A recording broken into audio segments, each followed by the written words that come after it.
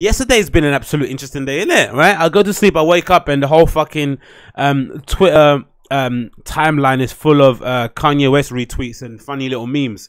Absolutely hilarious. So I go to bed and at a reasonable time. I'm currently reading uh, Who Who Rules the World by Noam Chomsky and The Flash Boys by Michael Lewis. So I've kind of got those on my mind go to sleep a nice hour, wake up, go to the gym. Cause I don't check social media before I go to anything. I just gonna go straight out, come back, and I check my stream, my fucking feed, and it's full of Kanye West stuff. So supposedly, not supposedly, but Kanye West um had a bit of a meltdown on Twitter the other day, which is nothing, you know, no surprise really for anyone that's seen the things that he's kind of uh, been up to this year.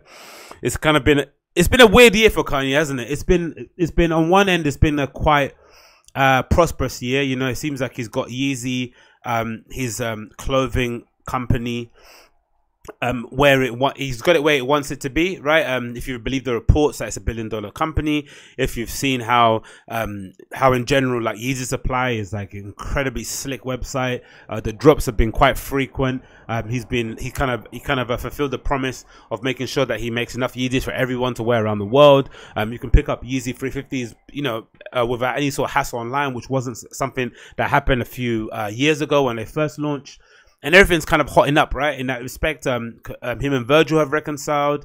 Um, he he he was basically um responsible for the resurrection of Kid Cudi with Kid See Ghost. He was responsible for crafting probably one of the best um uh, quintessential rap albums of this year. Um, in Daytona with Pusha T. And you know, um, even though the Teyana Taylor rollout didn't work out the way that she would have liked, and for the fans in general, we didn't get as much music as we wanted. He was also able to kind of contribute to that project and kind of um, be able to fulfill that promise in order to kind of get her project out on that side.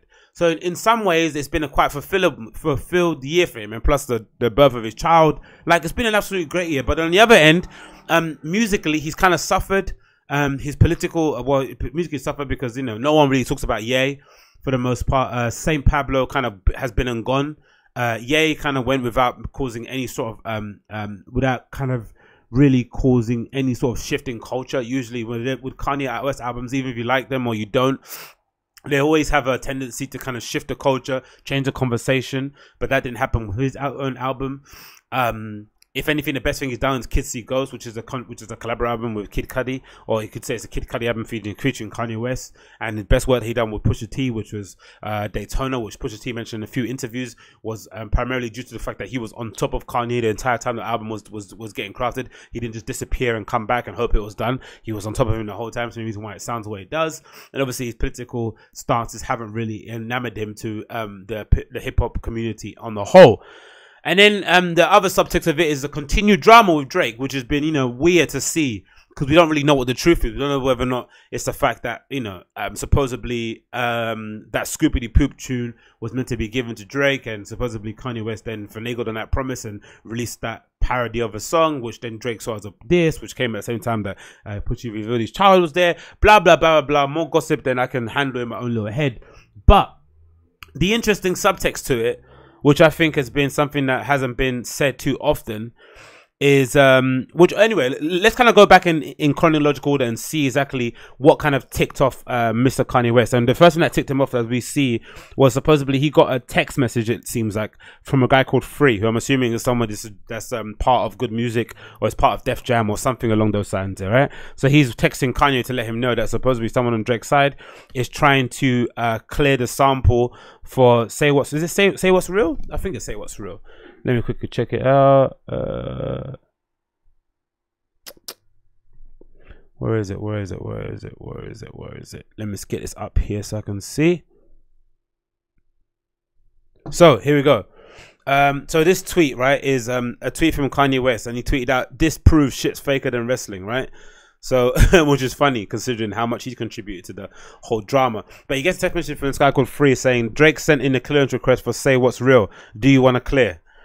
Now, um, this the the backstory to this is supposedly that there's a 10th anniversary of uh, So Far Gone, right? Um, Drake's kind of seminal mixtape. Some might argue his best body of work that he's put together, and um, a lot's been kind of rumored from the Drake subreddit. I've seen that supposedly the 10th anniversary collection is going to be put together. That might include some vinyl. That might include a special 10th anniversary tour. That might include some special new features, a remastered version. We don't know, but it's it's general. They're trying to kind of reissue that um the whole thing because I think they've got they've got so far was they've got so far so far gone on Spotify now and on iTunes, but it's not the full 20 track which I've got, which was released back in the day. Um, it's the full 20 track version of it. I don't think they've got that. I think they've got that sort of condensed version without probably the sampled tracks on there. So um, they're trying to release that again. I would assume, um, of course, 10th anniversary and some extra coin in it in uh, the camp of OVO. And um, I guess if you're Kanye West and you've got ongoing beef, this is probably something that is a is a bigger topic. If you've got beef with somebody, but they still have your like I don't know. If you had an argument, if you if I if I lent some Bluetooth speakers to my friend, but me and my friend fell out, or he let me his Bluetooth, can I ask for them back? Or do I just like you know? Or is that it? Is that it? Am I am I am my speakers just done? I'm not too sure. Some people probably argue that if it's yours, you get it back. Some people probably argue that if that person asks you through another through a third party, you should give it back. But I don't necessarily think that proves anything. But I think in in general, I guess in the music industry, clearing samples is kind of like um I guess in in in musical terms, it's a way of you kind of acknowledging uh, mutual respect between artists. Like you might not work together, right? You might not want to collab with the person, but you respect what they do and you clear the sample. I'm assuming that's what kind of that is what goes on there. So um, when people do clear sample, it's sort of like a nod. Okay, yeah, me and you are cool. It's like a weird way of saying you're cool, even though you're not, even though there's no evidence to show you're cool from the outside in because you haven't worked together, all that sort of shit. So I guess um for in Kanye's end, he's like, what the fuck? Like I don't even I don't even talk I don't we don't talk to each other or you don't talk to me, and now you want me to clear your sample. Like go fuck yourself, right? Go spin on this, which is you know which is clearly which is um more than more than um which he has a kind of you know he has he's justified in in doing so. And if you're and if you're Drake, I guess it's not necessarily you that's kind of reaching out to Kanye, right? It's your team that's kind of trying to put trying to make sure all the samples are clear. We saw what happened with Juice WRLD and Sting right? They were going around um, touring or performing the song "Lucid Dreams" about uh, clearing a sample, and of course, uh, Sting decided to hit them, hit them where it hurts, and pocketed most, if not all, the royalties on on that song. Luckily for Juice WRLD, he's like a super talented um, artist who's able to kind of you know bounce back and make uh, another hit after that. But for the producer that made that song, you know, he's suffering because that might be his only hit. That might be his only chance to kind of blow to kind of get some exposure. Now the song's kind of dead. Um, so I kind of I kind of get Drake's end of that regard. You know, you, you got to cover your bases. So it kind of escalates from there. Uh, Kanye is wiling out. What's he saying here? Uh, and then this tweet is kind of hit funny. he says, "Uh, I still know this is. I still need to see. Uh, let me see. Show here.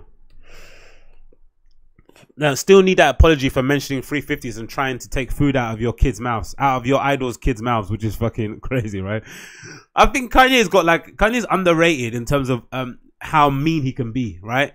Because he said so many things in that kind of uh tweet right? He's mentioned that he needs an apology for, you know, I think it's on No Stylist. Drake says, uh, uh about girl, don't wear the 50s around me.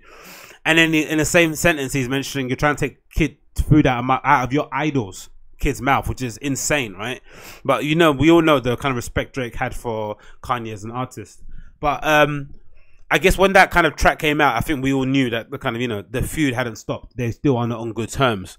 But I guess if you are Kanye, there is a there is a there is a, a an aspect towards this where you kind of do feel like Drake's trying to cancel you, right? Because I guess they've got a personal feud, which I, I which I think, from what it seems like as I'm looking in, it seems if Kanye West doesn't mind them having a personal feud, he just is ob- objecting to the fact that he's being painted as um as a snake, right? Because he just want to leak the news that he, I don't know, just want to pass on info to Pusha T that Drake had a, a, a child in secret, right? And then um, now Kanye, and now Drake's kind of hell bent in kind of ending uh, Drake's dominance or Kanye's dominance in the footwear industry, right? By saying uh, checks over stripes, by mentioning that the, the girls don't wear the free fifties around me, right? He's trying to really pummel Adidas down into the ground, which, which in you know, which um in proxy or by association, by default, will then kill Pusha, will then kill uh, Kanye.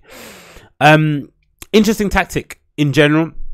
I think if you're Kanye, you will be a bit upset if you hear that song, especially if it's the most played song around and French Montana is kind of retweeting it every four or five minutes. And I think him and Kanye are meant to be friends. It's just a strange thing. And I think it lends a lot of credence to what Pusha T said in this Joe Budden interview where he was kind of like, you know, ranting and raving or just speaking very passionately about how he's a soldier, right? Like he's the, like, if someone's attacking Kanye, he's going to come out regardless and all guns blazing and attack that person because he's loyal to Kanye West and he doesn't really understand how some other people within the camp are able to work with uh, Kanye's enemy, quote unquote, in Drake, and still be cool with Kanye. He doesn't get how that relationship happens. He says that's not something that he will do, and he does. He, he doesn't, but he doesn't understand how they'll do that. But he's not trying to like you know uh, speak for their actions. And it then goes. Then if you extrapolate that a little bit and you look a bit further out, you you see French Montana who's like the friend of everyone. So you maybe can kind of discount him because he's like you know he's like the most uh, sociable person in hip hop, and no one can really say he's, he's anyone's best friend in that regard, right?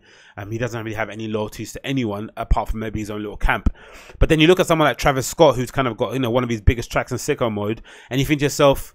If you're Kanye and Travis allows Drake to jump on sicko mode and I don't know, quote unquote, sneak this him, and that song is ringing out. Uh, it's playing everywhere. It's one of the you know one. I think it's maybe number two in the Billboard charts or something, or number one now maybe at, at, the last time I'm speaking.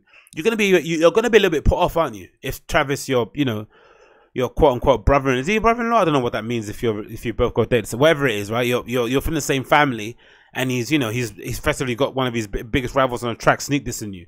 And then if you extrapolate yourself further from the situation, you look at a bit nerdier, you would have seen that prior to Travis Scott album coming out, there was a loads of tweets that he put out. He doesn't. He's not really that kind of dude. Where he, it seemed like he was throwing shade at Kanye. He said he was kind of like you know saying some things that could have been construed as like some things of like, so, oh, don't idolize your idols. Da, da, da, not everyone's as they seem. Blah blah blah. blah. And this was during the time when Kanye was kind of wilding out of his kind of pro-Trump uh, stuff. So there could be something around that. There could be something around that. I'm not too sure if that's actually true, but it could be something in it that now we know that the rumors of Travis uh, not really fucking with Kanye might be true. There might be some truth to it if we kind of extrapolate a little bit. If you kind of link those tweets that he spent, he kind of tweeted ages ago, and if you kind of see what's kind of transpired so far, if you link what Pusha T said about he doesn't understand how some people from the camp can be working with Drake whilst the beef is still ongoing, mm, doesn't seem too great, does it? So this kind of continued. It kind of rumbled on and on and on and on and on. I don't really want to go through every single fucking tweet on here, but the thing that kind of made me laugh and uh, really got me uh, going was that Kanye said he was going to buy the first two rows in Pusha T's uh, thing, and then um, these series of tweets really kind of made me laugh, right? So you got this and this, right? So after kind of like baiting um put Drake in public, right, um with these tweets, because he's been pretty quiet, hasn't he? Of, he's been kind of under the radar, and I think maybe he was kind of a bit annoyed that he wasn't being discussed in the conversation about best album, all this sort of stuff. So he just kind of had to come out and say something, right? Of just couldn't keep his fucking mouth shut. So he was kind of bored. And then, of course, he got the perfect ammunition in free sending him this text that supposedly uh, Kanye's trying to get something cleared. And then we get this amazing, amazing, amazing, amazing tweet, right? That comes out. So let me let me just see this here. Show screen. So the first one that really makes me funny, right, is this one. Drake finally no no. So here it goes. But no, uh, Drake finally called, right? Then it goes mission accomplished. so if anything, you could you could just taking that isolating that tweet, it could be argued that maybe he was just trolling. Maybe he was just that desperate to get in a conversation with Drake that he fabricated a text from free in order to kind of get Drake to reach out. And then, of course, because I thought when I saw that tweet, I was like, "There's no way in hell that conversation is gonna go the way Kanye wants it to go. There's no way Drake's gonna come on that phone and start being humble. If if at all Drake did call, I don't. We don't even know if he did call. We don't know if this is just a figment of Kanye's imagination, or if he's just, or if he took somebody else from the team. We don't know what happened. But if that did happen, I'm pretty sure Drake would be on the phone talking all kind of madness, right? Because from what he said in, the, if you see what Kanye, if you see what Drake's how Drake was talking about Kanye and the LeBron James barbershop thing, there is genuine, genuine, genuine dislike for Kanye now. Like what he's kind of like turned himself into. It's stuff to do with behind the scenes, stuff that we're not probably privy to, but it looks like they like Drake really doesn't like Kanye anymore, right? As a human being. And then if you extrapolate a bit further, you see that Don C and all those guys and Virgil are kind of hanging around with with, with uh, Drake more, and they've kind of distanced themselves from Kanye. They do talk about him in interviews and stuff, but for the most part, they don't really mention him. Don C hasn't said anything about Kanye since Don Kanye kind of went like crying on that Chicago radio show about he hasn't got his friends around him. It seems as if like there is some genuine dislike of Kanye within his closest circle, within those people that kind of are his friends, right? So you can kind of imagine that phone call with Drake isn't going to go the way Kanye would want it to go in terms of like, oh, Drake kind of like, you know, bowing, uh, to at his feet and sort of like essentially kissing the ring. And then, and then, um, so that make, that makes you think that maybe Kanye was trolling the whole way through. And then the final tweet, which kind of, um, kind of summarizes that whole occasion was this one that says, uh, by the way, not cleared, right? So that effectively, you know exactly what's happening there, right? So that it's just he is effectively trolling, right? So he, he didn't get the the response he wanted. I'm sure Drake was talking all sort of like wild mess on the phone, and then Kanye was like, you know what, fuck you, I'm not clearing. And again, like I said to you previously, I think that is the music industry's way of uh, um uh, if you clear a sample, especially if the person's not paying for the sample, it's a way of like saying we're cool, no worries. You know what I mean? I respect what you're doing, respect the the the the the, um, the, artistry. Maybe you might take a little bit off the back end, but for the most part, you're not trying to take 50-50 or the whole track or the whole royalties like a Sting did with uh, Juice WRLD. And then um to make matters even more interesting, right? Because if you know, you know, th these things are even it's always nice to kind of capitalize on a little bit of internet drama and kind of get involved in the muck without, you know, without kind of st uh, staining yourself. I decided, Agostinho, this kind of brave creative soul out here, I decided it was a good idea to uh, create some merch that would kind of, you know, uh, resonate with the Kanye West crew. So I decided to put together this quick little piece of merch that's available now on um on Big Cartel. If you go to Twitter Meltdown, all one word, Twitter Meltdown.bigcartel.com, you can get yourself a bit of Kanye merch. Um, a bit of, uh, by the way, not cleared merch available now for twenty pounds. I thought, why not, man? It's such a funny occasion to do. I thought, why not whack this up quickly and chuck this on the interwebs? There we have it. There we go. Um, you can check that out. I'll, I'll, put a link available in the show description and in the audio link for you guys to check out as well. But it's available right now on Big Cartel. Get yourself some not cleared merch just for the lows, only for the lows. Um, and again, um, the tweets transpire again. It goes on and on and on. Kind of mentions, kind of mentions that that um mentions the the kid that went to the Pusha T concert in Toronto and got fucking smashed to smithereens by security and Pusha's team. Supposedly that kid's on life support um, which is fucking nuts. I didn't know that. I don't again. I don't know if this is true. This is all kind of Kanye's mouth. Kanye insinuates that Drake was a guy. Drake was the one that got that kid um to got that kid to go there and try to assault uh push to the concert, which is fucking ridiculous. Really, someone of Drake's ilk is not gonna go and send some spotty teenagers to go and you know fight his battle. That doesn't make any sort of sense. But again, the the war is getting messy. The war is getting messy, and if it didn't, and if it wasn't getting any messy enough, you know, it's kind of going on and on and on what kind of made really everyone kind of stand up and take notice was the fact that um, Kanye West's wife, Kim Kardashian, decided to kind of get her voice involved too. And she tweeted at Drake directly. They tweeted at Drake and said, at Drake, uh, here's a tweet here, get it up there. At Drake, never threaten my husband or our family. He paved the way for there to be a Drake. Jesus Christ. So imagine, um, the one person who this whole beef kind of start kind of this whole beef kind of got a bit messy for was kind was Kim. The whole rumors that supposedly uh, Drake was messing with her on the side whilst Kanye was going through his nonsense, which is you know a stupid fucking rumor that has probably no basis in fact whatsoever. But the fact that um both I mean the, the fact that um Drake's side Drake wasn't really uh, willing to kind of clear that up and kind of let the rumors roll. Kind of, you know, I'm assuming didn't really go down well with Kanye. And for the most part, Kim's kind of kept her head out of it. But I guess you know, in the Kanye, in a Kim Kanye household, you can only imagine the amount of frantic shouting that's going on around there with this thing transpiring on Twitter. And it's absolute mess of a situation. Again, I think it's a it's a mess to see grown adults, especially people with kids, um, putting out all their business on social like this. It's never something that you want to do. I think you want to carry yourself with a bit of class. And I think you know it goes to goes to show, man. Like for all the you know, Jay, we've we've only seen one chink in Jay-Z's armor with that infamous lift situation, right?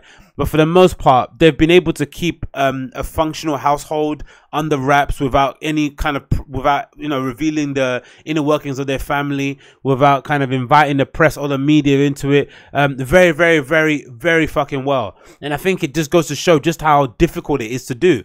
I think there is a tendency for people in the public eye just to always, always have themselves involved in some sort of public conversation, just to keep them their name out there. And it's just an, it's just frustrating to know to see to see because for all the lows and for the things like there's kids involved there's family members involved that have nothing to do with this. There's people um, connected with the camps that are getting involved in this that also have nothing to do with this too who are going to get affected by this uh, flagrant um, disregard for anyone's kind of well-being and safety overall because these little things can just fester so much that they can kind of carry they can kind of build and build and build up into a moment where something real will happen. And i think the pusha t uh, toronto thing is a good example.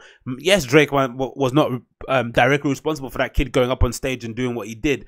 But that whole energy, the whole out, um, you know, the beef in general, how it transpired, the bad blood between them, uh, the fact that both fans both sets of fans are incredibly Stanish on the Drake side and the Pusha T side.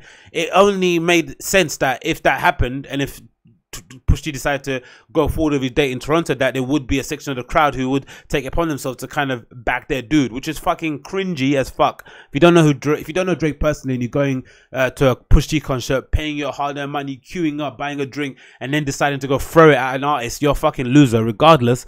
But it can't, you know, it's no surprise that all that energy is going to kind of lend itself to the situation that we're in now in general, everyone looks like a loser. I think here, Kim looks like a loser, Kanye looks like a loser, Drake looks like a loser. Everyone looks like losers. The quicker everyone kind of goes back to concentrating on music and doing what they do best in this industry, the, the better for everyone in general. Um, and I can't wait until it's over. Again, it's a fucking amazing end to the year. I think for the memes. Uh, by the way, not cleared. I think is gonna go on and on and on. And um, uh, Kim Kardashian effectively copying and pasting her husband's tweet and then adding it to Drake is fucking hilarious. Uh, uh, the fact that that whole Jenner household um, is essentially, you know, in Drake's pocket in some regard. There, you know, you're seeing videos of so and so members like playing Drake songs. It just must be. It's just such a shitty, mess, shitty, uh, tacky situation. I don't even know where to begin. But anyway, that's that's it for me in general. It's kind of giving me a headache speaking about it overall, and that's half an hour of my life I've wasted. Um, but